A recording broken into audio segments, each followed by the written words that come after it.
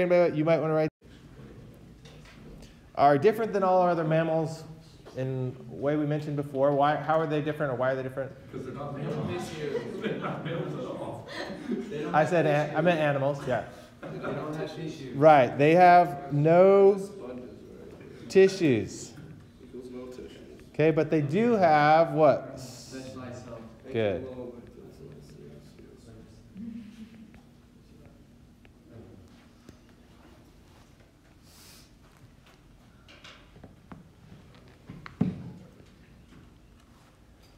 All right, the the body and they have asymmetry. Sometimes they are radial.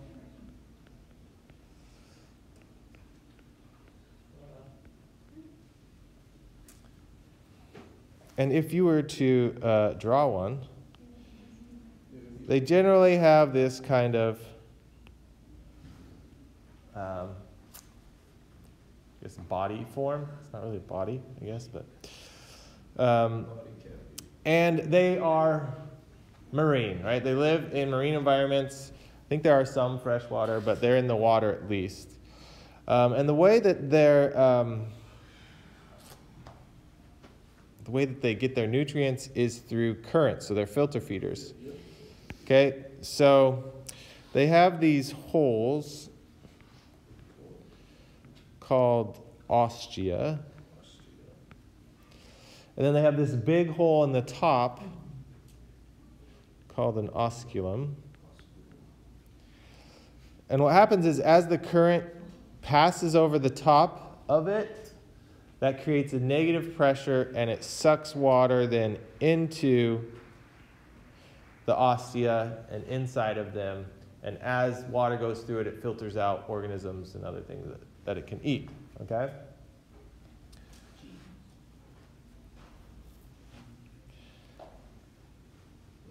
Okay, so if we were to do a cross section here, then this is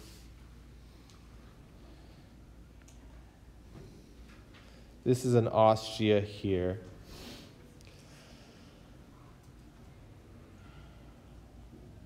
All right, and what you have is our specialized cells which form the hole or the pore, and they're called porocytes.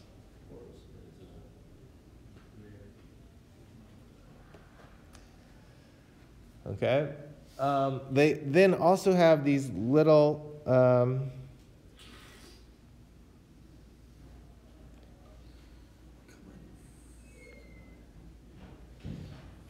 They look like choanoflagellates, but these are actually choanocytes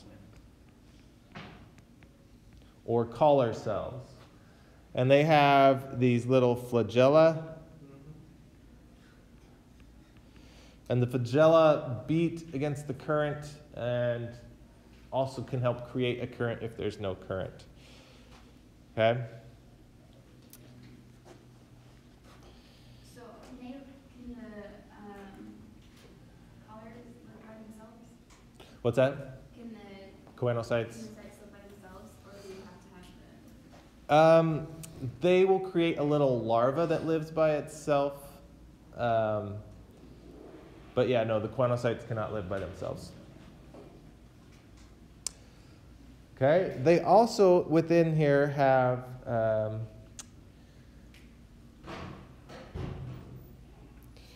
uh, epidermal cells. I'm just going to draw a couple over here.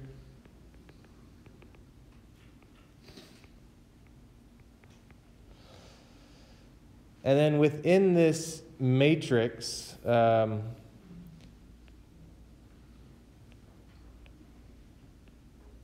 they have spicules, which are made of silicone. Okay, so this is just giving structure to the sponge uh, matrix within it, and also makes it harder to eat. So when something tries to eat it, it has these spicules in it. It's not that Different. SI? silicone Oh. based. All right, and then there's one other cell type I'm going to draw in here, and this is basically an undifferentiated amoebocytes. They kind of look like an amoeba, and they can become uh, choanocytes, or they can become a porocyte. They're kind of like a stem cell. Can you zoom up on the word?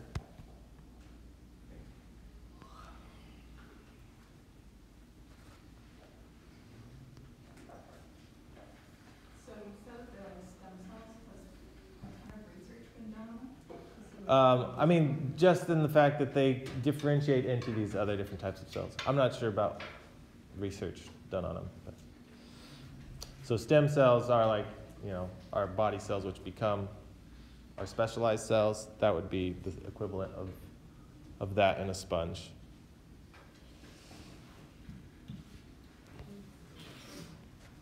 Okay, so those are poriferans. Any questions? Okay, what clade do they belong to?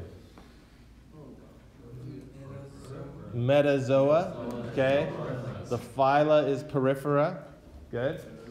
They do not have true tissues, but they do have specialized cells. Okay, so that's the first branch on our phylogeny, right? Etiquette over here on our poriferans as well.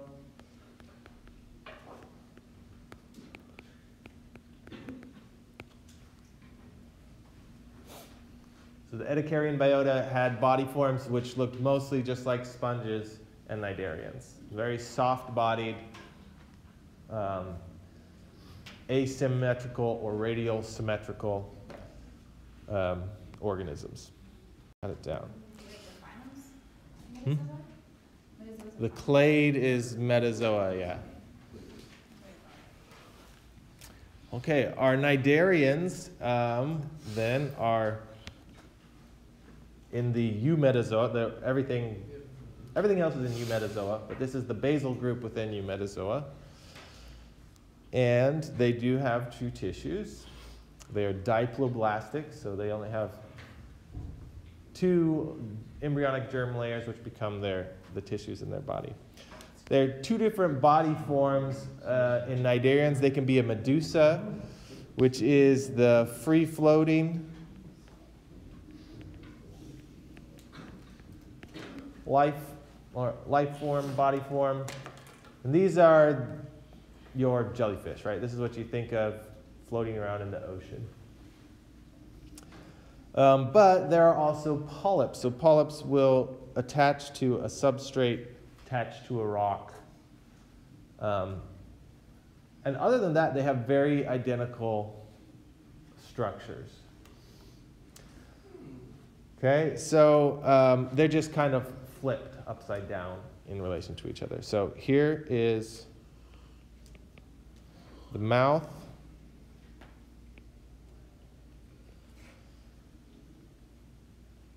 Okay, surrounded by uh, tentacles.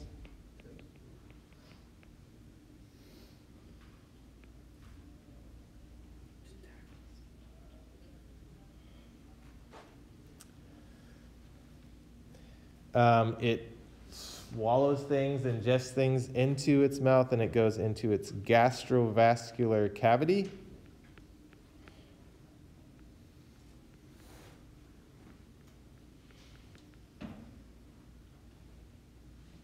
Okay, I'm going to put GC here.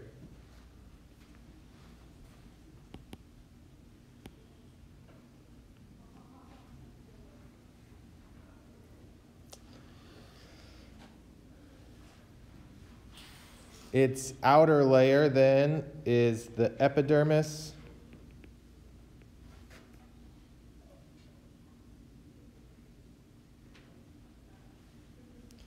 And then this layer, which forms the gastrovascular cavity on the inside, is the gastrodermis.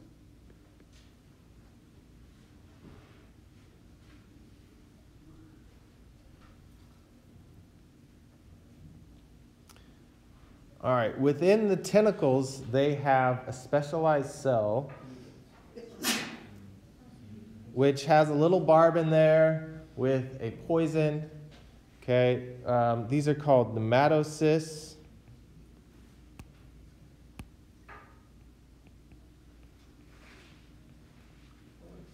The nematocyst is the structure, and then the stinging cell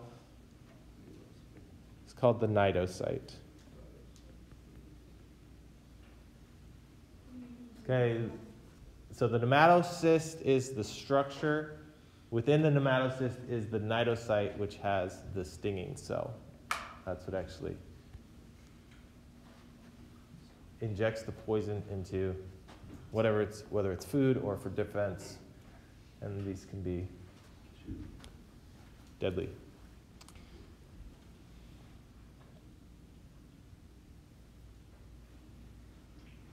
Okay, so those are the parts of the Cnidarians. Now there are four groups then within there, and uh, the groups within there are generally medusa or polyp dominated in their life cycle. Some species they can be both, but are generally one or the other.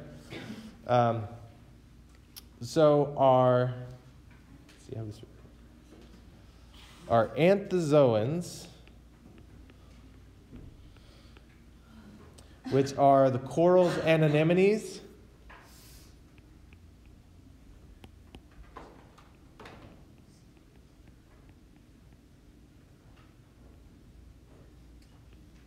They are mostly polyps, right?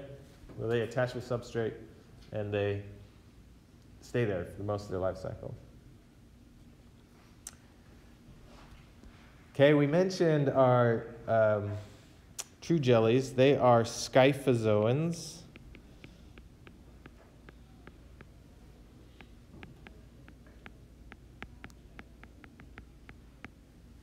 And technically, you're not supposed to call them jellyfish because they aren't a fish at all. So you call them jellies. Yeah, that would be the more technical term.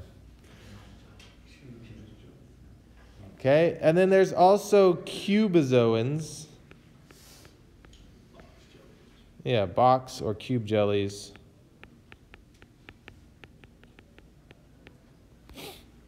And they just look like jellyfish, but they're more cube shaped. Got like kind of angular um, medusas.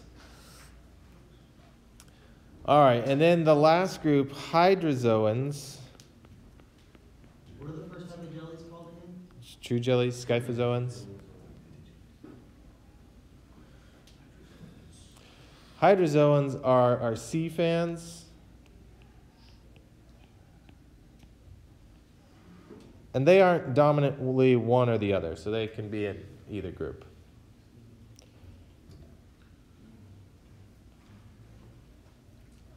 Okay, so I drew them under here, whether they are polyp dominated or medusa dominated or both.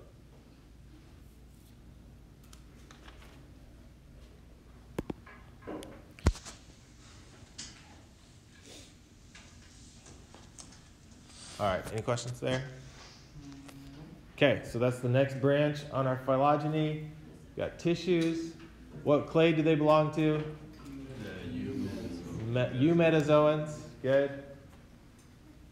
And how many um, how many embryonic germ layers do they have? Two. So they are diploblastic. Two. All right, so we've got it on there already, right? It's all making sense. It's all coming together. All right, so the Cnidarians and the Poriferans, okay, these were much like the original animals, the first ones that formed, the first ones that evolved, okay, and what um, what do we call these first? You know, when we did the timeline, what were the first um, animals called? Okay, so that they were part of the Ediacaran.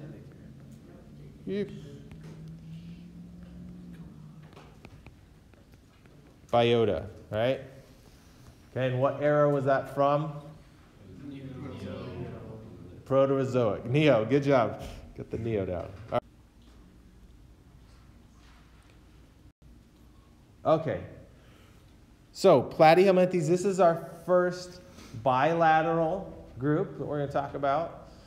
Okay, if they're bilateral, um, also how many embryonic tissue layers do they have? Three. So they are triploblastic. Okay, what are those three layers? A little review with this. Endoderm, ectoderm, mesoderm. Right, so endoderm, ectoderm, and mesoderm. Good. All right, um, all right, there are a few different groups we talked about. Planarians, which are these free living flatworms. And these are a model organism used in a lot of developmental studies. You can do a lot of cool things with planarians. Planarians, they are they have these weird heads with eye spots. And you can do things like cut their head in half, and then that head will grow two heads on the same body, or you can you can do all sorts of weird stuff like that. We. Um, we could maybe. They're also really small, but uh, a lot of the scientific literature on development has looked at planarian um, biology. Okay, there's also trematodes, which are called, uh, include some parasitic flukes, which will cause uh, diseases. And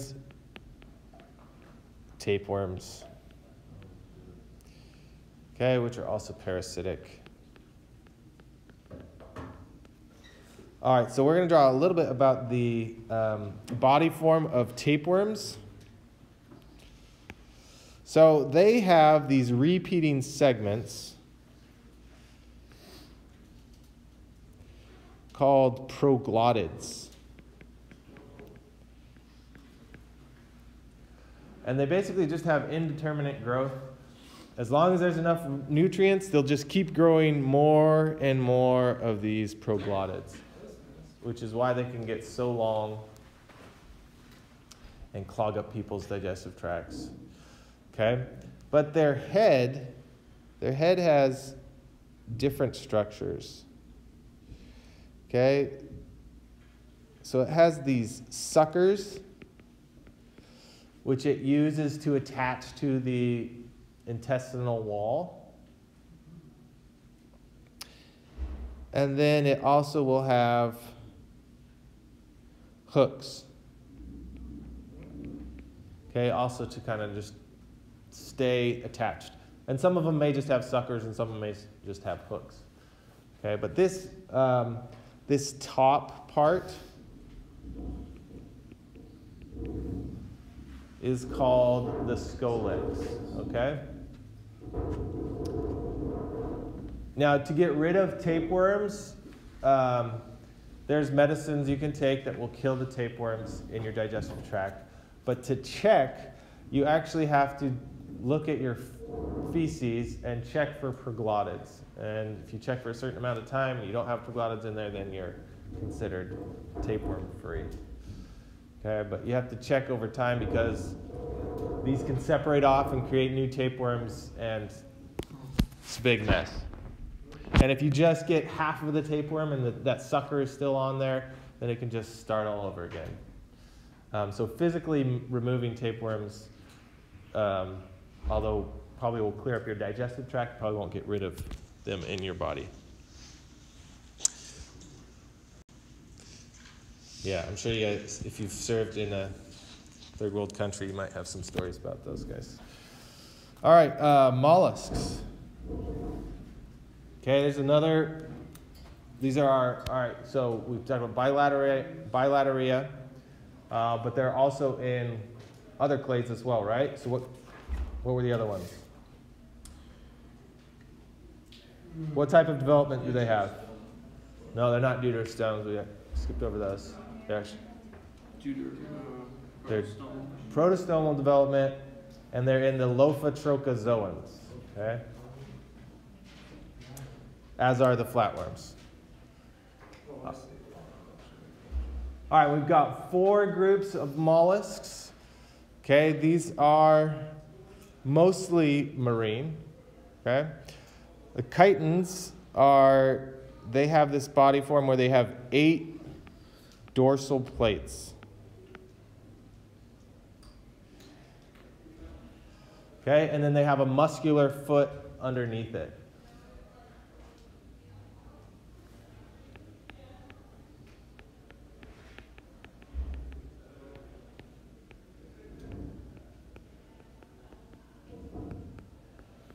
All right, has anyone gone to tide pools and looked at all the funny organisms there?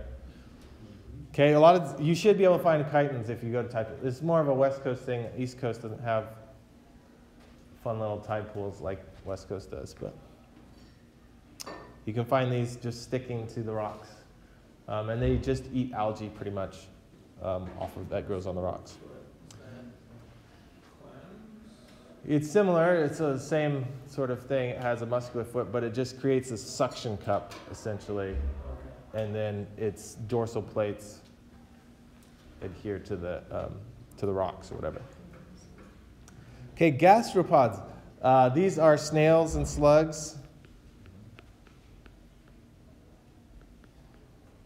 And they have a peculiar um, body development where they have torsion. So essentially, this is my slug. Have his mouth here, the digestive system is twisted.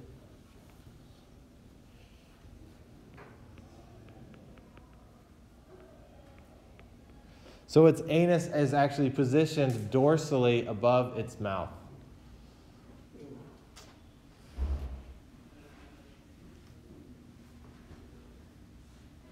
So it has to be careful when using the bathroom. So do bats. Think about it. Okay? Um, all right, bivalves, that literally means, well, it doesn't mean shells, but it has two shells. Okay, so these are, they have one shell, they have another shell, and then their muscular foot can be projected out of there.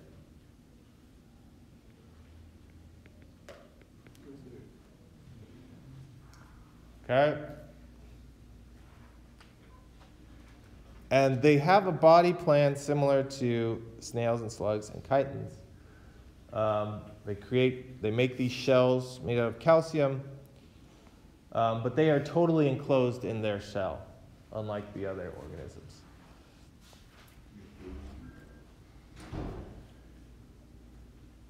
All right, cephalopods, then, these are octopi, squid, and nautilus. And the octopi do not have a shell. Okay, the, all the other organisms have at least, well, slugs don't have shells, but um, the squid and the nautilus, the squid has an internal shell, the nautilus has an external shell.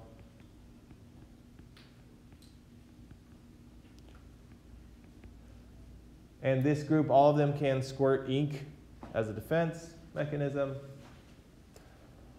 And octopi are also the most intelligent invertebrate.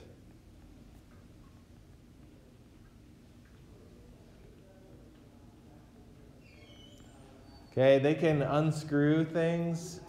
Um, they have a number of defense mechanisms they can use, like coconut shells to hide. They have camouflage, lots of other cool things. Yeah. Did you see their octopus that in the World Cup correctly picks every single team that would win in the knockout stages? Oh, really? I think there were two treats with the flags from each team that were gonna play and you pick the right team every time. Wow. See, that's smart. that's not random. It's not that hard. Does he watch a lot of soccer? It's only like one goal, it's not that hard. All right, so those are mollusks. Very diverse group, mostly marine. Not like basketball. Uh, triploblastic, lophotroch- lophotrochophores with pro- protostomal development. Okay, annelids are our segmented worms.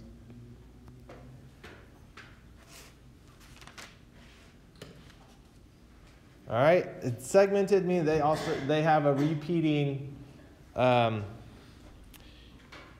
units. Okay, they also have um,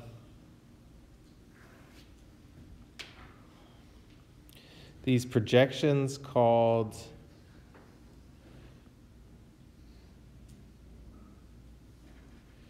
parapodia. Okay, so it's not quite like a foot, but it's a little sticky outy thing, right?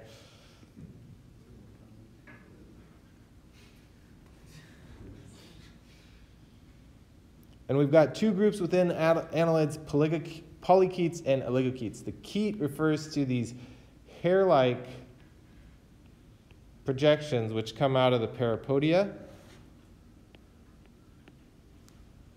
Polychaetes, poly means what?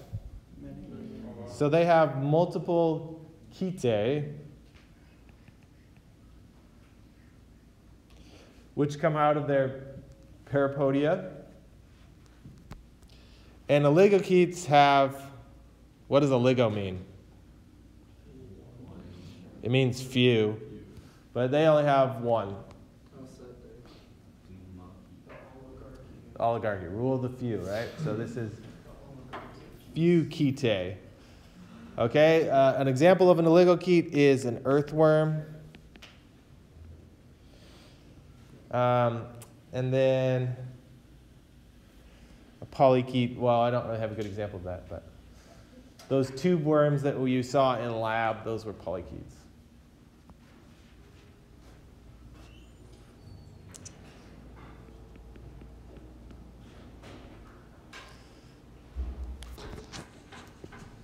All right, leeches also belong to this group. they are oligochaetes as well. And they have these hydrostatic skeletons, which means their skeletons are made of basically water. They're moving water throughout their body. That allows them to be really flexible and suck your blood. Okay. Um, arthropods. So now we're skipping down to a new clade. Okay, they are in ecdysozoa. So what is ecdysis again? They molt, they molt, they shed, okay? and there's I have four groups here within arthropoda, and they have slightly different uh, body plans. Okay, chelicerates are spiders, ticks, arachnids, and other things. Um, they have two major divisions in their body a head,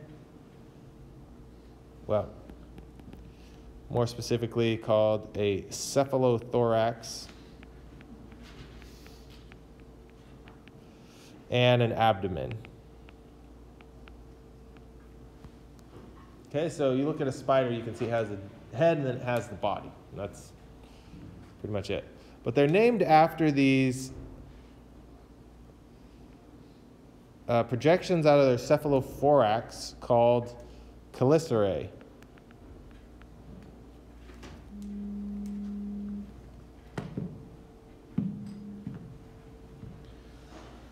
um, and they also have those characteristics which you think of as spiders, like they have eight legs.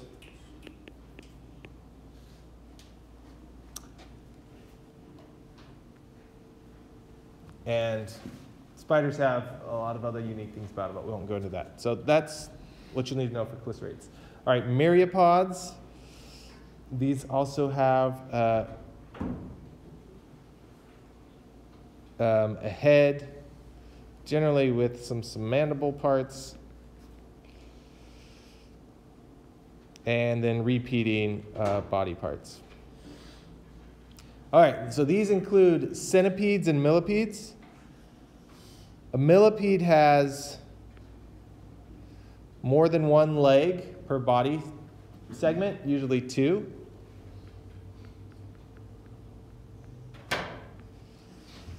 And then a centipede has one leg.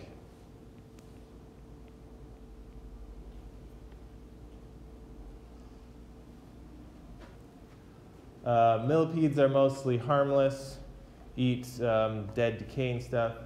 Centipedes are generally carnivorous and can be poisonous. So if you find a mill, the, there's tons of millipedes. You go out in the woods, they're like black and they have red on them. They're harmless. Um, you can find centipedes if you roll over logs. They are, I haven't tried to pick one of them up, but they probably can inject you with a very painful bite. All right, hexapods. Okay, these are your insects and relatives. All right, they have a head, abdomen, and thorax.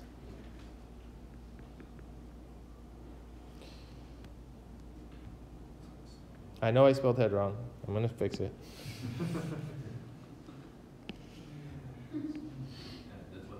Your heed. Huge heed. All right, head, thorax, abdomen. And they have six legs.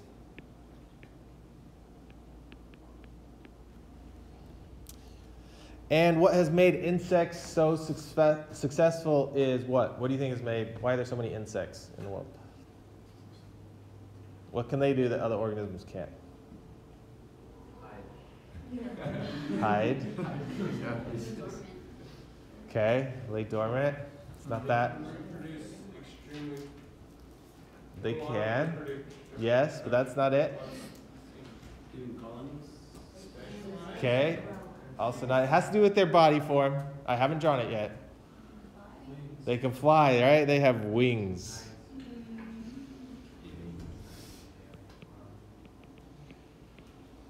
And because they have wings, they can go places that other people can't. Well, other animals can't, I guess. Insects are people too.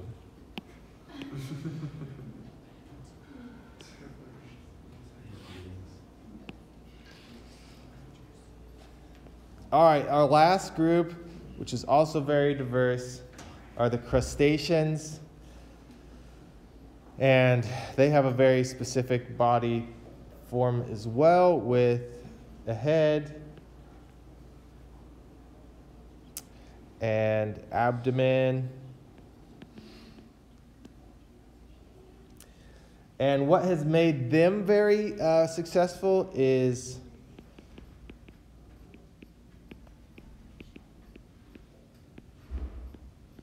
uh, diverse appendages, right? So they have uh, legs for walking. They can have more than six, they have tons of legs. They can have these big old claws. That's a claw, as you can tell. Okay. um, they also have gills. Okay, so most crustaceans are in the ocean. We dealt with a crustacean in lab earlier, uh, in, which was the little pill bugs, right? Sow bugs.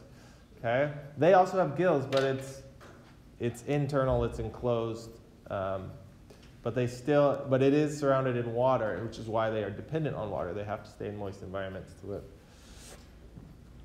Um, they and and yeah, so they have lots of different appendages. So um, a lobster or a crab or uh, a crayfish, they have the big pinchers. They have all these other legs. They have um, projections off their tail that can also help them swim and move different directions. And so that's allowed them to diversify within the water environment.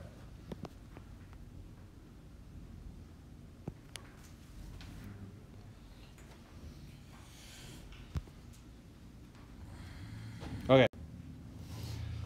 Finally, the last one we're going to talk about is echinoderms. We're not going to talk about chordates because that's what we're going to talk about on Wednesday, and we'll talk about the diversity of the groups within chordates. Echinoderms, um, these are deuterostomes, right? So they have deuterostomal development.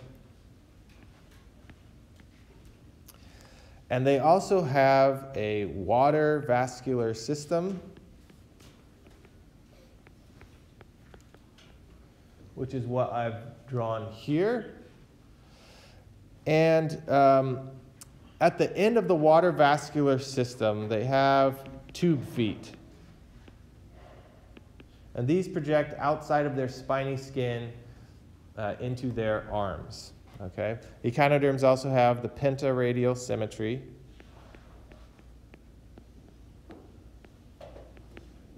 So I only drew one of these, uh, one of the ends of these water vascular system, but they have five of them.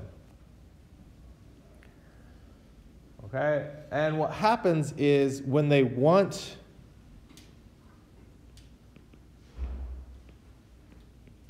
to project uh, a tube, the ampulla will contract and that will push the tube foot out further.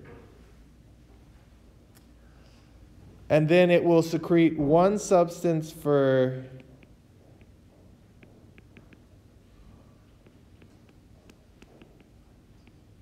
for adhering to something, so to stick to something. And a different, I guess we'll say anti adhesive, when it wants to let go. Okay, as this ampulla contracts, it forces water through this system. And so, water, if it needs to be replenished, will go then through the madreporite, down these radial canals, and then out the tube feet after it's done its whatever work it needs to do. So these, uh, at least like sea stars, are generally carnivores, and the, what the tube feet allow them to do is to essentially pry open things which are normally inaccessible. So bivalves, which are you know have a pretty strong muscular foot which closes their two shells, um, they take their little tube feet and they can squirt their tube feet into the in between them and essentially pry them open.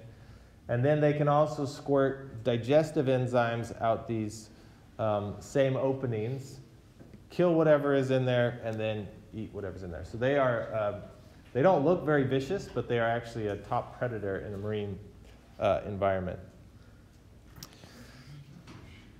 Um, and they also have uh, fragmentation regeneration. Um, so if they, if this guy gets cut, and at least some of that central disk is preserved, that one leg of the sea star can regenerate five other legs and it can become another five legged sea star.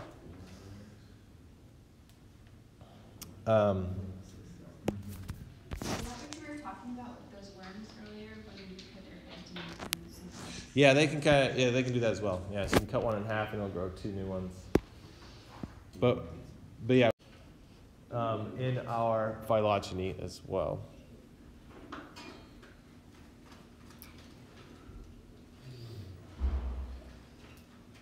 All right, at some point, we had the um, split then and the formation of tissues.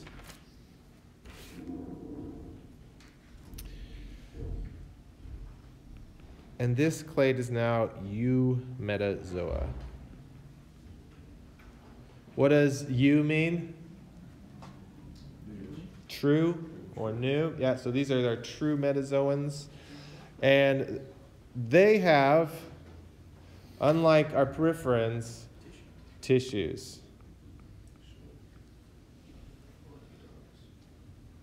Okay? And what's a tissue? Yes. So it's a group of specialized cells with the same function. In order to have a tissue, you have to have specialized cells. Um, but you also have to have different functional systems, right? These tissues belong to. All right, and our basal group in the eumetazoans are our cnidarians.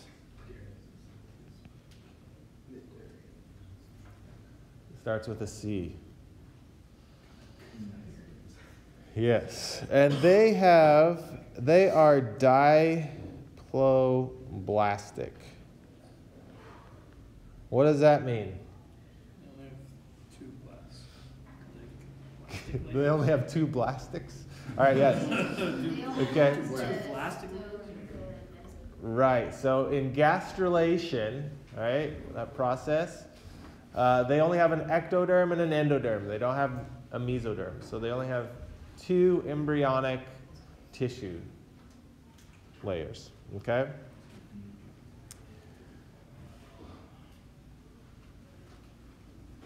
Okay. Everything else in our animals belongs to the clade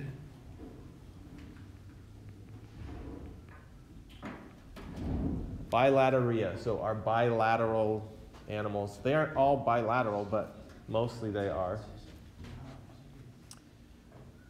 And they are triploblastic.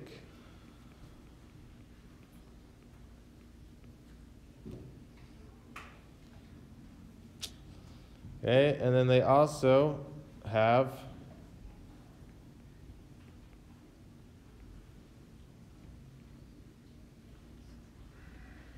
bilateral symmetry for the most part. Yeah. Can you zoom up a little bit on all?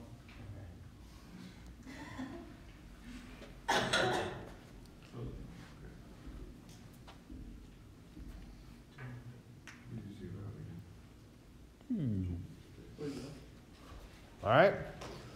Our bilaterans um, then split into a few different clades. Okay, the first one we're going to do is the one we belong to Deuterostomia. Okay, which has, I'm just going to put DD here, deuterostomal development, okay, which we already learned about, the intro to animals, right? And the two phyla which belong to Deuterostomia are Chordata. And does anyone know what the other one is? Sea stars and relatives?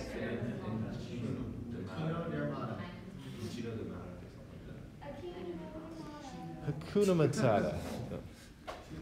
Okay, good. Echinoderms and chordates are deuterostomes.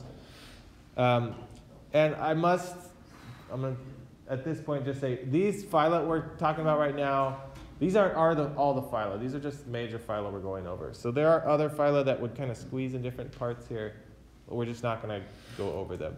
Okay, so of the nine phyla that we're going to go over, this is where they fit in the phylogeny. All right, so if these guys have deuterostome development, we have another branch then that has, I'm going to put PD here, a protostomal de- development. But they actually don't split into, they aren't one clade, they actually split into two clades.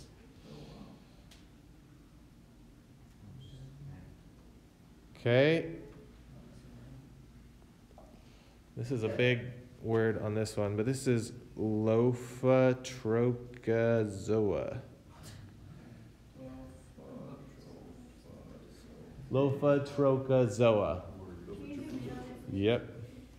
L O P H O T R O C H O Zoa. You spelled it differently in your video too, like twice. Well, I think you said like. well, I don't count off for spelling, so. And that's why. I think this is the correct way, though. Lophotroch. Okay, they have a larva that's either a lophophore or a trochozoa. That's why it's called lophotrochozoa. Okay. I don't know how you write. Let's let's just put L or T larva.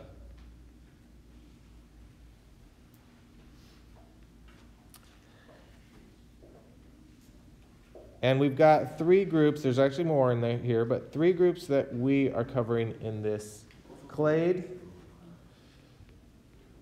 What did you say were the larva names? Lophophore or trochophore larvae. Lady, how many? Good. Our flatworms, our mollusks, and annelids. Okay?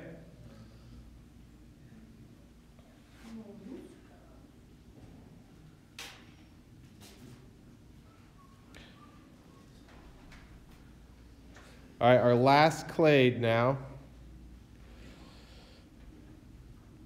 is Ecdysozoa. And they go through a process called ecdysis. Okay, what's ecdysis? What's that? Nope. It's shedding.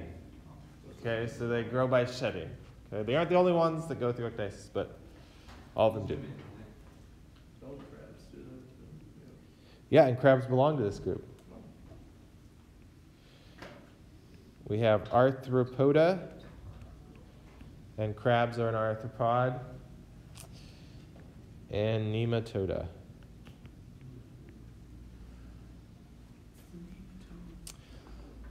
Okay, now you don't, at the end here, it doesn't matter if arthropod is on top or nematode is on top. It doesn't matter where those three are in relation. So if I wanted to draw, if I wanted to write nematode here and arthropod here, that's fine. It doesn't matter. So this is gonna be on the test. This is one of the two phylogenies which will definitely be on the test. One of the two will be on the test. Yes. Like, do we need to know the things such as like ecdysis or all, you, whatever your word bank? No. There better be a word bank. Infinite word No, bank. No, no, no word bank. This is good. I'm offended. Okay,